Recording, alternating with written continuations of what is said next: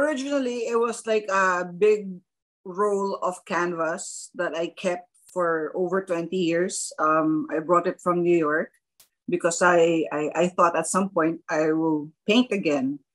So it's been in storage. Um, and then when I was thinking about painting again, I I looked for the canvas and found that it was eaten by termites. Um, so that was kind of depressing. So I took it out. It was out in my studio for about a year because I couldn't deal with it, but I couldn't throw it out. And then when we were talking about Boro, I was thinking of doing something else. But um, going to my studio and looking at the canvas eaten by termites almost every day. Um, I guess early this year is when I started working on on that canvas. Uh, I, I knew what I was gonna do with it. I said, um, alam mo, bubuuin ko to ulit, this canvas. It was supposed to be painted on, but I figured since it's Boro, I will I will make it whole again. So that's that's the story of that piece. And it's called um, We Don't Die in One Day, We We Die Slowly. Sorry, you don't die in one day, you die slowly. And I got that from an Eastern guru who was talking about when you die, you you actually burn your belongings or the people behind, you know, who's left behind. Um, so that got me thinking, what do you keep? What do you try to save? What do you, you know, so I was toying with that idea that I wanted to save the remnants of those tattered canvas pieces.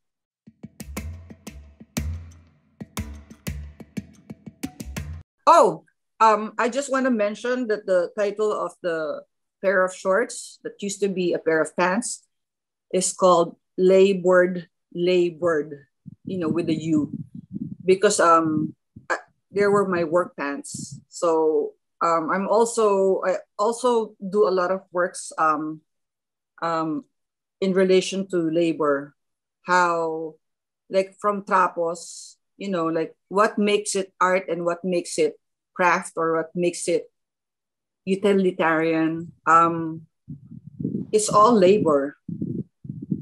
Um, how it's given credit, how it becomes elevated. Um, these are like interesting questions to me. That was actually it's like a pair of pants. Um, that was also part of the termite infestation.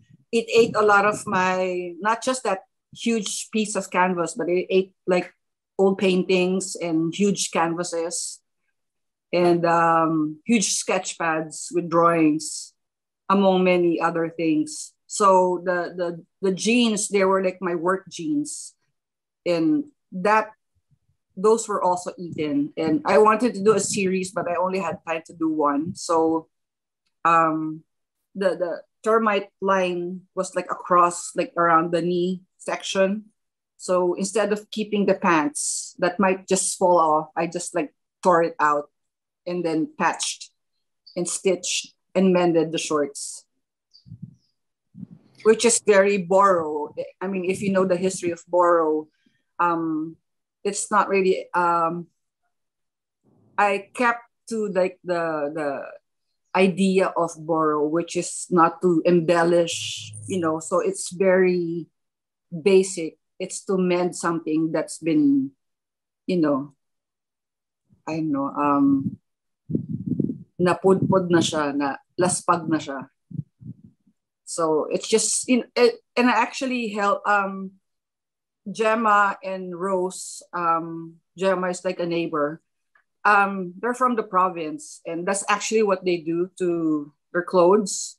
So I asked Gemma to to actually sew the, the, the repair because I think if I had done it, I would like make it like more maate, like art, artify it. And I wanted it very authentic. So, you know, it's, yeah, I think it's authentic that way, that it's mended how people who usually do it would do it.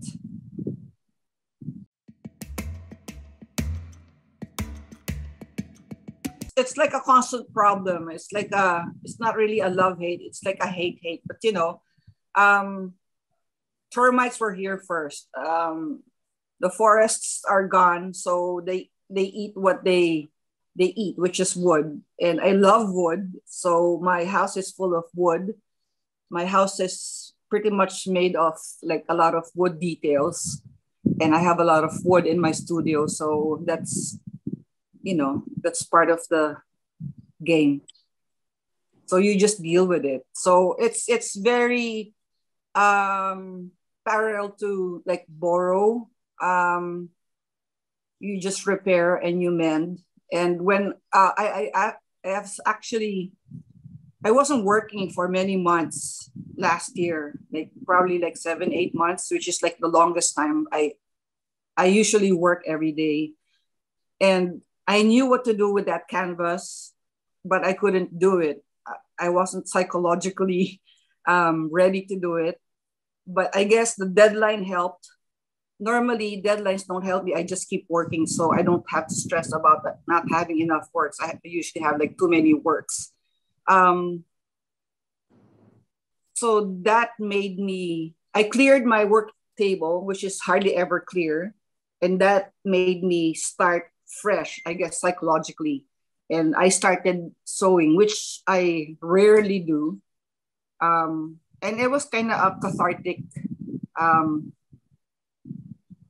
um, moment to actually, you know, it, it was sort of close to meditating. It's like you use your hands and you, it's so basic. You you mend something. So it was nice to see it slowly um, getting whole again.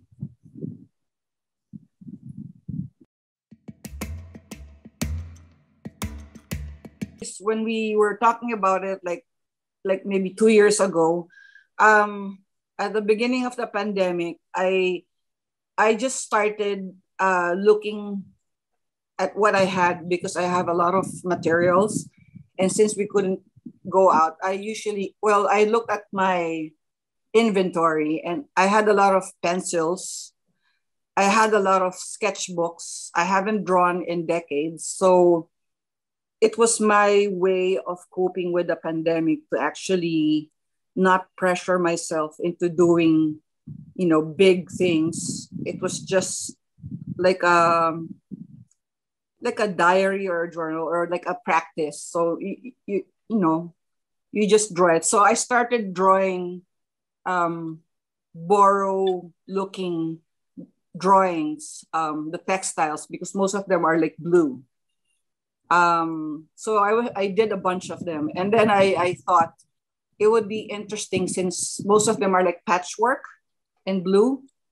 So I sort of mimic, I guess, in a contemporary way, instead of putting them together, having them small, having the small pieces, framing them, and then installing it in the gallery in pieces, like in fragments. Um, so it was like a, an experiment, a light and I thought I was, I thought I did a lot. So I only gave like 24 thinking that's too much already. But when I saw it at the gallery, it's like, that's it. That's all I did. And, you know, I have more um, sketches. Um, but, you know, anyway, so that's the story of that. And then I, I tried using inks and water soluble pencils and uh, dermatograph. You know, I was just sort of getting reacquainted with my materials.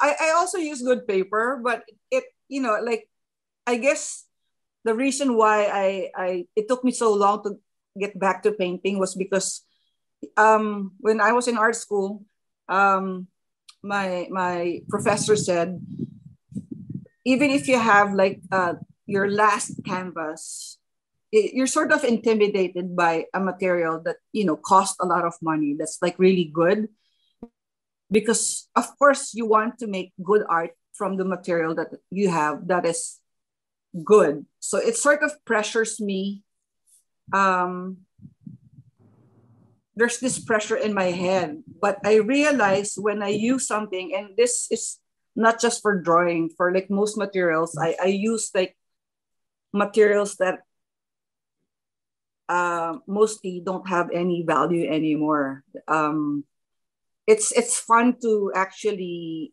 um, make them alive again and make them, you know, there's no pressure in it.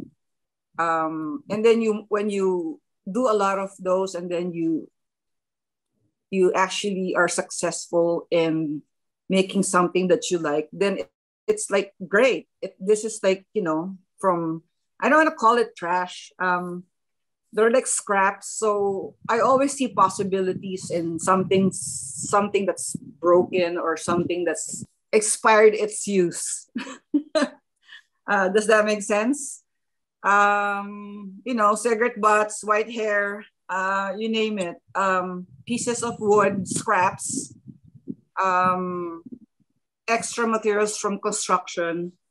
Um, they're like waste, and I don't like wasting things. I always see possibilities. So, aside from using a lot of um, um, you know, most of the sketch pad had like acid already, but I kind of like the acidity of it. Like it's it's aged, and I I like that look, and I like to make it useful again. If you mess up something, then there's no you know, parang, oh my God, nagsayang ako ng, ano, ng, ng material, right? So, this way, um, you're just kind of spontaneous and more playful and, uh, you know, you're just like doing it for the fun of it.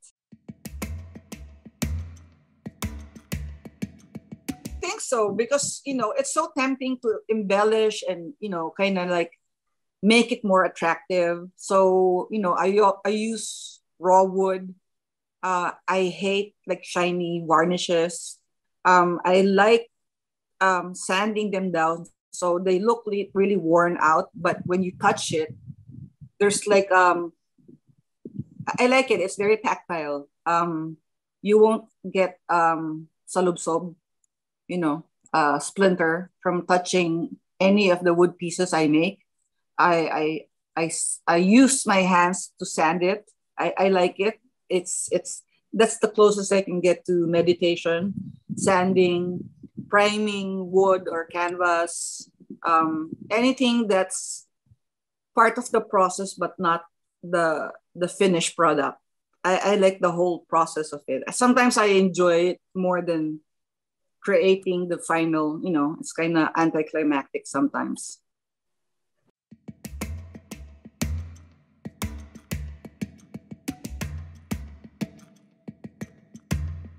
uh, should i say enjoyed it. Um it, it was refreshing. It was like a nice discovery because i grew up with my mom. Um, my mom was like a home economics teacher and she used to teach craft. And you know she always had like so many materials but it, it was more like you know like beads and gems and you know like very different from my aesthetics.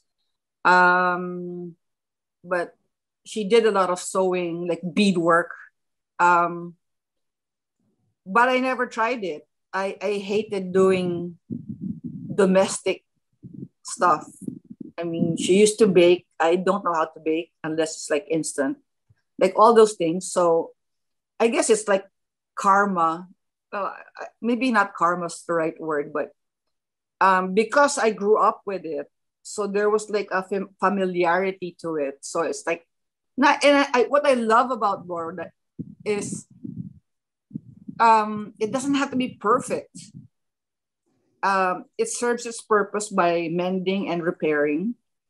So I like the the it doesn't have to be a perfect line, like you know. Um, so I like that. So I enjoyed it. So I I might actually do more sewing in my next works.